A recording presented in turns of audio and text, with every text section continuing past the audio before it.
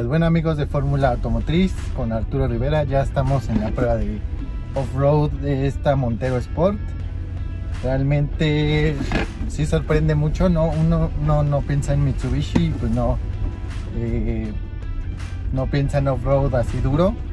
Y pues esta Montero Sport sí viene totalmente equipada para todo terreno, tiene la caja reductora, que ahorita ya la pusimos en modo 4x4 bloqueado tiene la, el, diferenciador bloqueante electromecánico. Es decir, el eje trasero pues se bloquea ante un, un terreno donde una, una, llanta no esté traccionando, va a seguir rodando la que sí está traccionando. Entonces para eso nos ayuda el diferencial. Eh, por su precio, yo creo que está muy bien para el todo terreno, o sea, realmente en su, en su segmento es la única que viene con toda esta tecnología 4x4, es decir, Highlander, Pathfinder, por mencionar algunas, eh, no tienen, tienen 4x4, pero es all-wheel drive, ¿no? Eso, eso quiere decir que no siempre, eh, más bien la computadora decide si pone todo enfrente o una parte atrás, pero no, no es las 4x4 eh, maneja, ¿no? Y aquí sí bloqueamos totalmente el sistema para que todas las llantas traccionen y nos permitan eh, librar todos los terrenos. Por ejemplo, ahorita nos están contando que la L200 es muy, muy solicitada en minería por sus altas capacidades de 4x4 y su capacidad de carga, ¿no?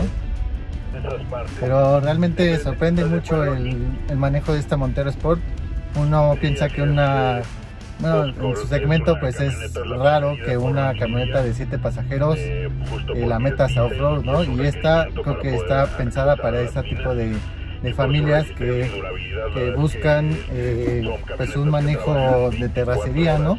O que necesiten salir mucho a, esos, ese tipo de caminos y que necesitan llevar también a toda la familia, ¿no? Y con esta pues realmente no, no vas votando, eh, se maneja muy bien sí le sonan tantito así los golpes, no, no, no, este, no les voy a mentir. Así, por ejemplo, pues, comparándole ya con un segmento mucho más arriba como Defender, eh, la calidad del ensamble sí se nota de la Defender porque ahí sí no se oye nada, no sientes nada, y aquí sí se notan, pero pues que por su precio, que son 810 mil, que son casi un millón de pesos menos que la Defender, está bastante bien. O sea, con ese precio no tiene nada que competirle con la Defender. Y bastante bien, ¿eh? agarra muy bien el terreno. A pesar de que voy un poquito rápido. No, no vas botando, no se sienten así los golpeteos. Y la suspensión es muy buena. Aquí estamos en una pendiente pues bastante pronunciada.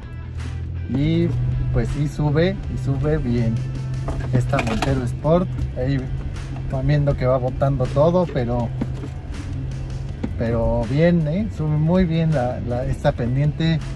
Eh, no tengo forma de ver cuántos grados sean, pero yo sí le pongo unos, unos de 20 a 30 grados de inclinación y bastante bien, ¿eh? sube perfectamente esta pendiente.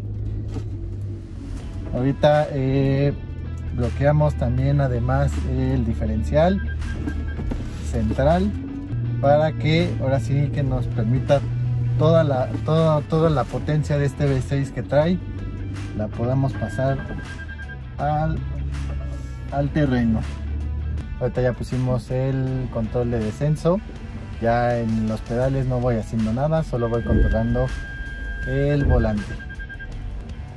Ahorita va solito el auto va frenando va controlando la velocidad eh, del descenso para que sea de manera segura y que no perdamos tracción o que salgamos eh, fuera de control, nada más. Y también nos permite pues estar concentrados en, la dirección y no tanto en la velocidad. Ahí lo que va sonando es el, el, sistema de sensores 360 que pues nos avisan de, de obstáculos o cosas así, eso sirve más en estacionamiento, cosas así, pero ahorita como eh, si está tupidita la, las hierbas, pues las detecta y nos dice que a lo mejor nos podemos golpear, ¿no? Pero todo súper bien con esta Montero Sport hacemos uy, está la prueba de flexibilidad del chasis como vieron eh, fue como una bajadita eh, top, como un montículo entonces primero saltó de lado izquierdo y luego ya se regresó. Entonces ahí podemos ver la dureza del, del chasis que es bastante buena no se sintió nada. Realmente nada fue la caída pero no, no boté ni nada. Entonces súper bien ese, esa prueba de flexibilidad del chasis muy bien superada. Bueno amigos de Fórmula Automotriz con Arturo Rivera ya estamos en la ya terminando esta travesía con Mitsubishi ya en la prueba de, de carretera ya de ahorita ya vamos es un camino secundario pero ya vamos hacia la hacia la marquesa ya para tomar la, la autopista hacia la Ciudad de México. Eh, antes de que continúe más, eh, les voy a dar los datos técnicos de esta eh, SUV de 7 pasajeros. Es de, tiene un motor de V6 de 3 litros que nos da 216 caballos de fuerza y 210 libras-pie de torque. Esto viene acoplado a una transmisión de 8 velocidades automática y una tracción 4x4 con caja reductora y diferencial bloqueante electromecánico. Eh, por parte de seguridad tenemos 7 bolsas de aire, 2 frontales, 2 laterales, 2 de cortina y una de rodillas para el conductor. Eh, tenemos todos los sistemas ABS, BD, eh, vea eh, sistema de asistencia de mantenimiento de carril, frenado automático de emergencia, entonces en parte de seguridad está muy completa. Ya por dentro tenemos una pantalla de 8 pulgadas con Android Auto y Apple CarPlay. tenemos un, instrumento, un panel de instrumentos digital de 5 pulgadas eh, bastante, bastante bien. Eh, en los interiores creo que queda de ver, pero, pero bien. Eh, tenemos un montal multifuncional con tenemos control crucero, control crucero, no es adaptativo y tenemos los controles de la música y, telefonía, toda navegación. Tenemos también paletas al volante que sirven para también tanto en carretera mejoran mucho el manejo con al utilizar las paletas y también en, off-road eh, sirve mucho porque eh, al poner la caja reductora luego sí queda muy revolucionado eh, el auto y, ya con la paleta pues este, tú estar jugando con, con las revoluciones del auto para que exactamente te dé lo que tú quieres. ¿no? Eh, en cuanto a interiores tenemos asientos, eh, el, de, el, de, el, del conductor es eléctrico, eh, vestiduras de piel, son siete pasajeros, todos muy bien cómodamente sentados, los de atrás sí son bastante pequeños, son para, pues sí, para niños. el espacio de cajuela, a pesar de que son de siete pasajeros, es bastante amplio no es, no es gran cosa, pero unas cuantas maletas iban a caber. Pues ahora sí ya dando la crítica de este auto, pues es realmente uno ve un Mitsubishi de estos, un Montero Sport y no, no da este pues da un peso por meterlo en, todo terreno, ¿no? Y realmente eh, me sorprendió mucho. Eh, lo metes donde tú quieres, ¿no? Eh, al final del, del recorrido entramos a a, una, un valle ahí con varios kioscos y todo esto. Y pues ahí pues no hay nada no entonces lo metimos así este pues como va. Eh, entonces yo, yo me imagino así un papá de familia con sus hijitos que, quiere pues llevarlos a, divertirse en, en, el campus.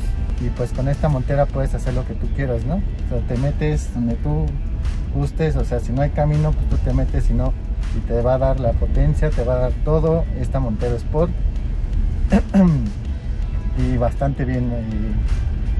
la ruta que tomamos no era tan planificada, era realmente era este, O tienen, sí conocen los caminos, los guías, pero era pues más al, al azar, así de ah, vámonos para acá y ahora para acá.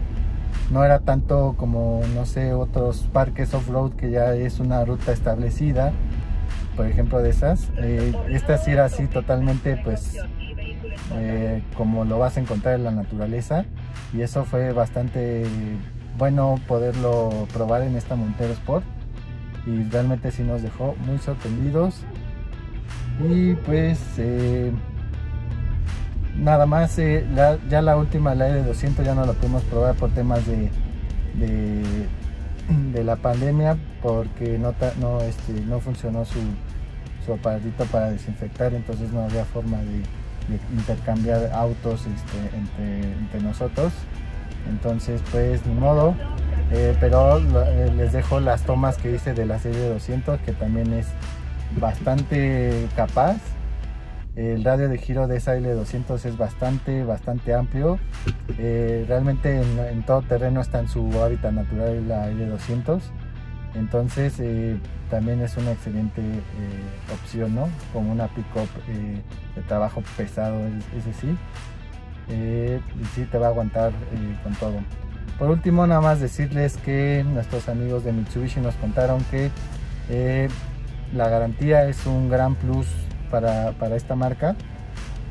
Nos dan 7 años eh, de garantía defensa defensa reales, ellos le dicen reales porque eh, no tiene letras chiquitas. Mientras tú hagas los servicios en regla, en tiempo, en las agencias, tú tienes tu, garantía los 7 años, pase, pase lo que pase.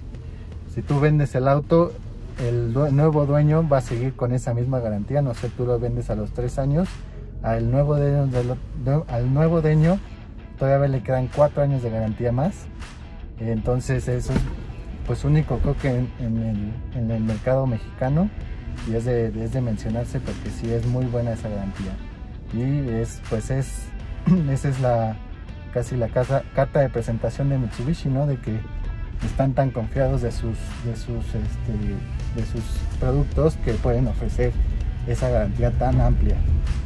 Y pues nada más amigos, eh, muchas gracias por, estar aquí. Eh, qué bueno que me pudieran acompañar en esta prueba de, de manejo de Montero Sport en off-road.